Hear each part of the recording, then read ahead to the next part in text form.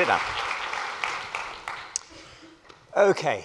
Um, let's start with uh, a quick show of hands uh, of who here thinks they can define the metaverse.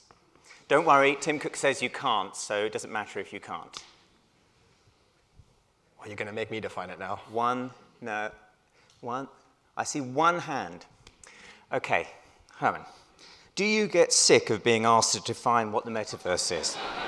No, I think it's the single most important question to ask yourself now if you're an investor or an entrepreneur. Because if this thing is going to happen the way that the internet happened, what we can be sure of is that a great deal of money and time is going to be wasted on bullshit. Because I don't know if you guys remember the early days of the internet, but there was so much bullshit. And we're going to see the same thing happen now. And if you, if you define the metaverse in a way that includes smart TVs and Disney Plus, boy, are you going to be confused in what you invest in and where you go. Um, and it's, so I think it's the most important question, and, and I think it needs to be addressed. And it's the root of the discussion. Okay, so what is the, what is the metaverse not? If you just pass me the book, I can skip to Yeah, okay. No, no, no, no. Um, the, what the metaverse isn't is a.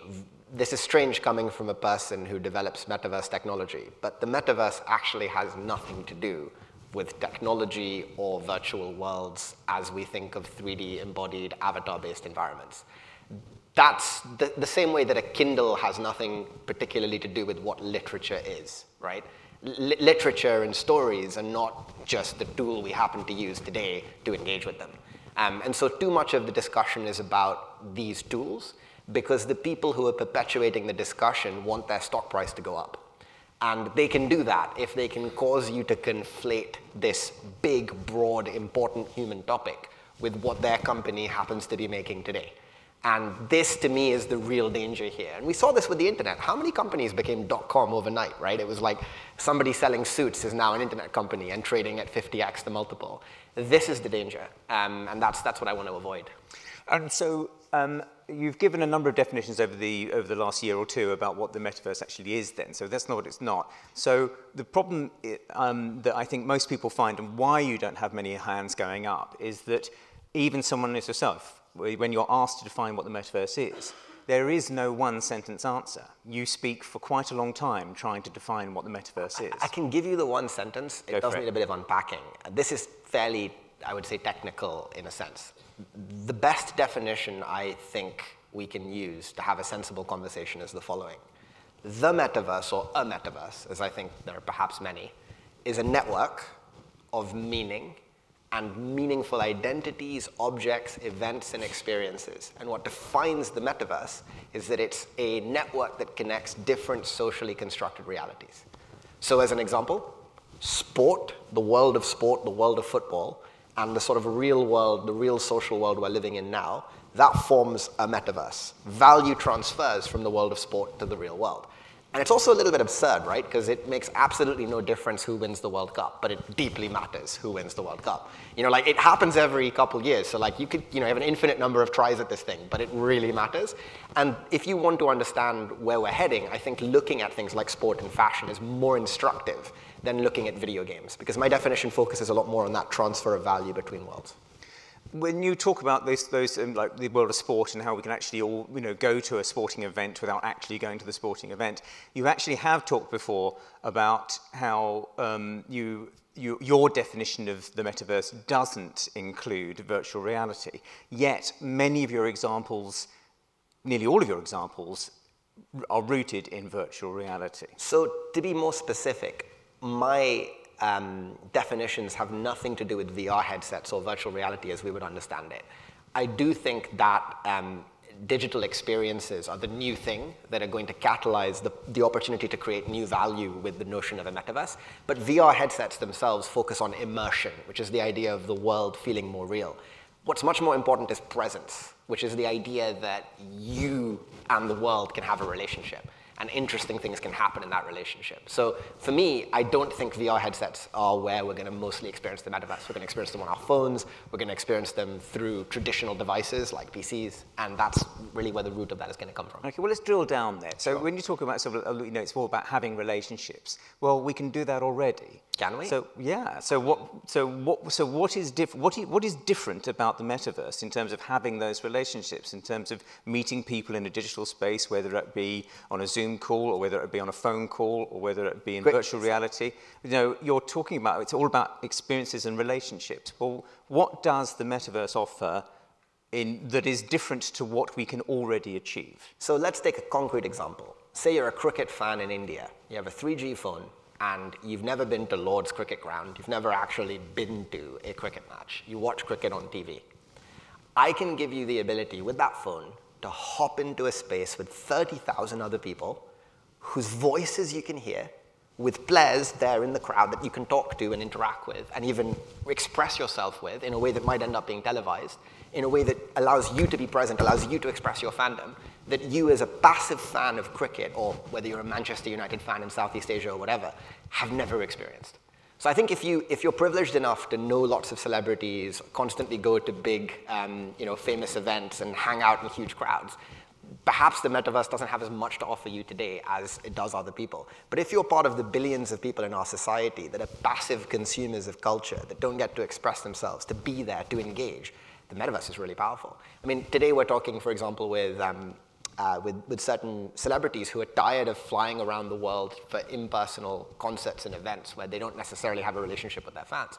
Some of these people are older now. They love the idea of pulling up their laptops and having an intimate conversation and interaction with thousands of fans in a world where they can express themselves. The metaverse is about going from passive consumption to actively having experiences. And as I talk about in the book, those experiences are not optional we need them to be psychologically healthy. And we don't talk enough about this. If we don't provide people with fulfilling experiences, their lives are miserable. But what you're describing to me as a layman sounds like a pimped version of virtual reality. How is it different? So, virtual reality is the headset you wear to, to sort of be able to go into a 3D environment. What I'm talking about is the world that that environment allows you to experience. So, let's take a number to help us understand the difference. Um, this number is called operations per second. When you play a game of Fortnite with 100 players in it, that takes 10,000 messages a second on the back end, right? So video games are kind of at that 1,000 level number. When you use WhatsApp, that service is handling about a million messages a second.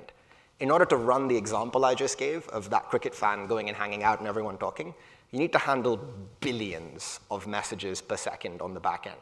So what's different is not the device you use to interact with the world. That's Facebook's poisonous distraction.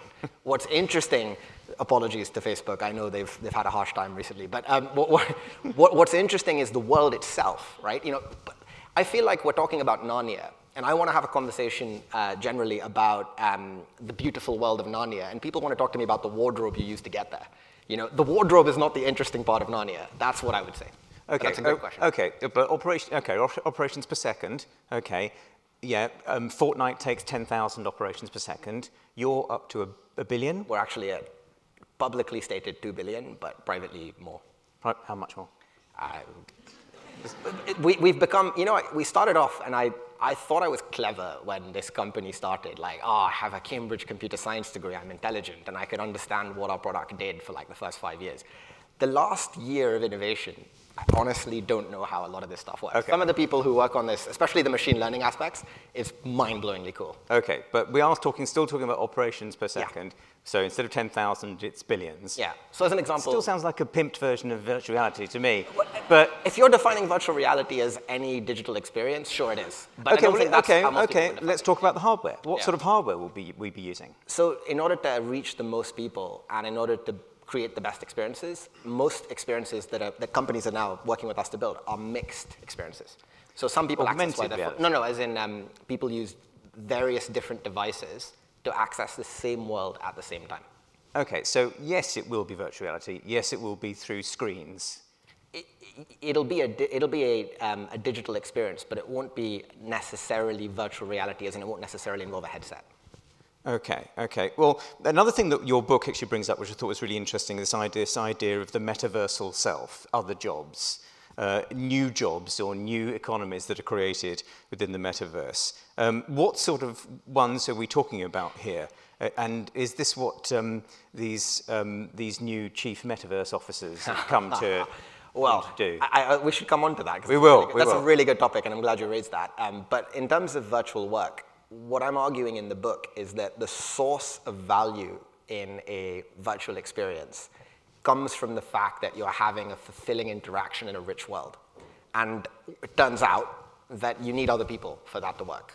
And you need those other people to often be playing roles in that world that are real and meaningful. So I'll take an example people might be familiar with. If you've ever played a free-to-play uh, action game online, you may notice that it's free to play, but the reason it's free to play is because uh, the, you're actually doing a job, and your job is to die while the people who've paid money uh, have the opportunity to, to meet you in a matchmaking queue, so there's someone to play against. If nobody was playing, it wouldn't work because there need to be other people there. So take that idea further. You know, you need a virtual bartender for your virtual bar. You need people who are able to play the role of villains or heroes in order to drive the economy of these worlds. And once you're making real money from digital asset sales, it suddenly becomes very economical to think of, let's say, 1 2% of players actually earning an income from inside these worlds. And 1 or 2% of a big global game, like big global games now have hundreds of millions of users. That's like a couple million jobs. Yeah. Um, and that's transformative. Yeah. What, what rights should these workers have? That's such a good question.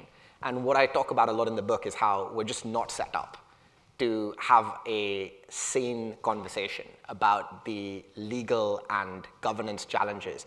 I mean, for example, if you were to have a single central company run the metaverse, that companies would be responsible not only for like, as Facebook is now, for how we communicate, but literally for our livelihoods, for how we're educated. That, that cannot be something one company ever owns. And we should strive to do everything we can in our power to ensure that does not come to pass.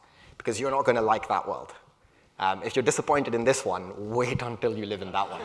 Um, you know, you know that, that's great. Your account has been suspended. Wait, what do you mean? I don't have a job anymore and I don't have a relationship or any friends? No, thank you.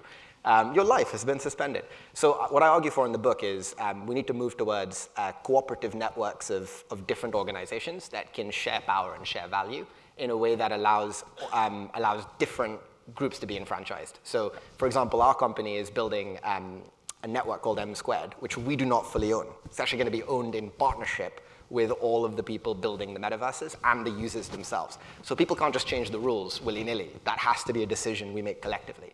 And over time, I actually think you're going to need democracies um, in order to allow people to be fully enfranchised within virtual worlds. So interoperability, Great question. Right here. So what you, but what you've got there with M squared is that is that when the companies come to you uh, in your new operation and basically say, okay, we want you to build um, a, a, a metaverse for us. Part of the contract with M squared is that it has to be uh, uh, connected or interoperable with the other metaverses that you have.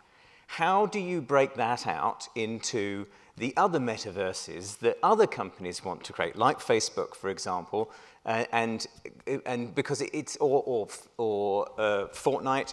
I mean, why would World of Warcraft let their players jump into Fortnite and then jump into um, one of your metaverses? It would only take people away from their uh, circular, their, their closed economy. So there are two separate, both great questions there. I'm going to take the first one and then come to the why would they. So in terms of how it works, the crucial thing is M squared is a protocol. So we can't exclude people from the network and we can't prevent people from interoperating with it as long as they play by the rules of the network, which once set are set. So to answer your first question, you don't have to work with Improbable to be part of M squared, which might sound crazy, right? We're giving away our platform, but it's the best way to create a valuable network. On the second question, why would World of Warcraft uh, interoperate with other games? They wouldn't. We're, the, we're the world leading provider of multiplayer expertise and services. Fancy way of saying our people work directly inside 60 different games publishers.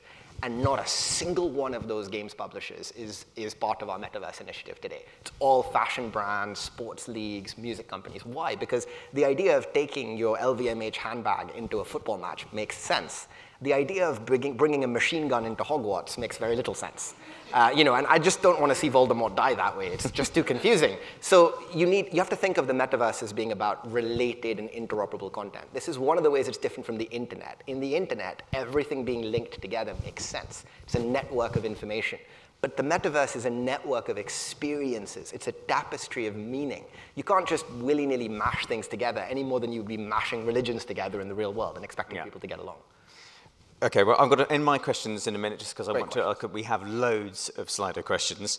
Um, what I wanted to ask you is, what are the what are the dangers of the metaverse? The optimism with which you speak about uh, the metaverse uh, reminds me of the optimism that Facebook and Mark Zuckerberg used to talk about Facebook winning as, as a, a, nice online community where we can all talk to each other and be nice to each other.